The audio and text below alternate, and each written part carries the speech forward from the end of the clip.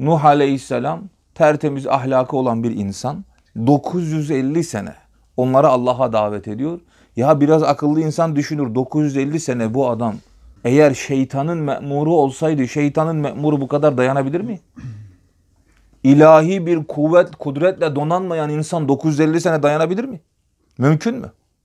Ney meselesi meşhur? Adnan Oktar'ın kedicik meselesi meşhur ya. E şimdi bu insanlar bak çok ibretle burayı dinleyin. Bunları nasıl tutuyordu? Çok. O tabii kediciğin açıklamaları da çok tutarlı da değil yani. Diyor ki şöyle şöyle. Hem diyor ki Adnan Oktar cinsel ilişki yaşayamıyor.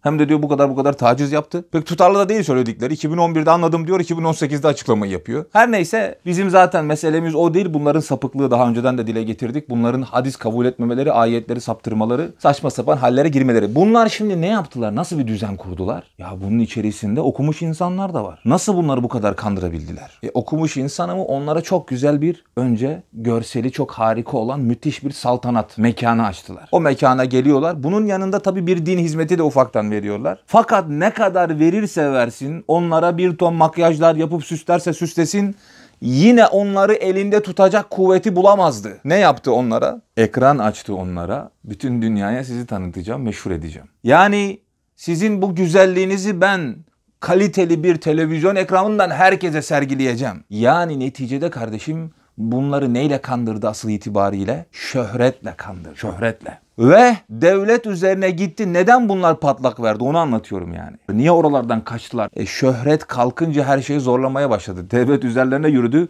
Ekranlarını kapattı. Bunlar o makyajlı hallerini tamam? Face'lerden sadece sergileyebildiler. Televizyondan sergileyemediler. Şöhretlerini kaybettiler tabiri caizse. Şöhret elinden alınınca ne oldu? E, şöhret yok. E, zaten burada hapis hayatı anlattıklarına göre artık doğru yalan bilmiyoruz. O zaman buradan kaçalım gidelim. Televizyon ekranının karşısından çıktın mı kaçalım gidelim. Dünya işte İnsanı böyle kandırıyor. Gel diyor keyfine, gel diyor şöylesine ama neticede bu ne olur? Elinden dünyalıklar kaydığı zaman Samimi dünyanın davası Allah giderler. için yürüyen dökülür giderler. 950 sene ile kolay. İnsanları hakka davet eden bir zatın aldığı kudret tamamen ilahidir. Yoksa dünyalık şeytanın peşinden giden adam bu kadar uzun bir hizmet dönemine, bu kadar zorlu bir hizmet dönemine sabredemez ki. Dünyanın keyfi için, dünyanın makamı için, dünyanın şöhreti için vesaire.